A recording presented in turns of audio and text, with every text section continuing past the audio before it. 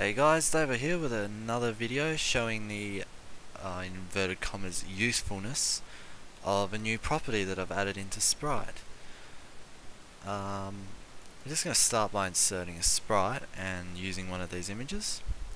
Now normally if we wanted to put more of these uh, images into our game we'd have to create another sprite, load up another graphic and so on and so forth. Uh, this new feature allows us to simply import in all the graphics into one object.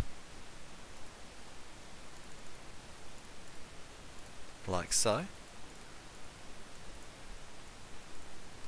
And then if we duplicate it and change the start frame this is a new property I've added to number 2 it changes the actual frame that it uses one thing we have to remember is to set the animation speed to zero, otherwise when we run this, like, the animation will play, and that kind of defeats the purpose.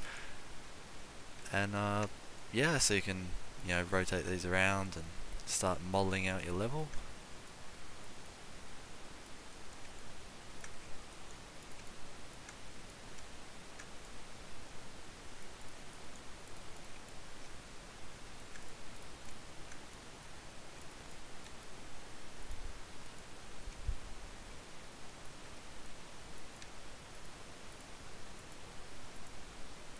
Make this one a bit bigger.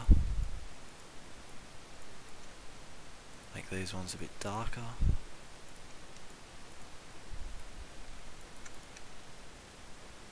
So yeah, you know, it's, not brilliant, but um, just add some grass on by making this the fourth frame.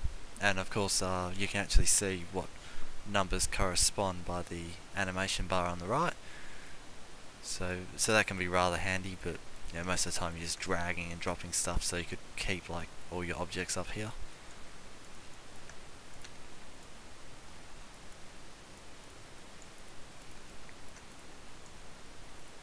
And uh, yeah, whatever.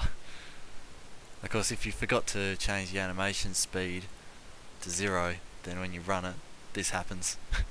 Just kind of random. So yeah, that that might be a feature that people find handy. I just figured I'd let you all know.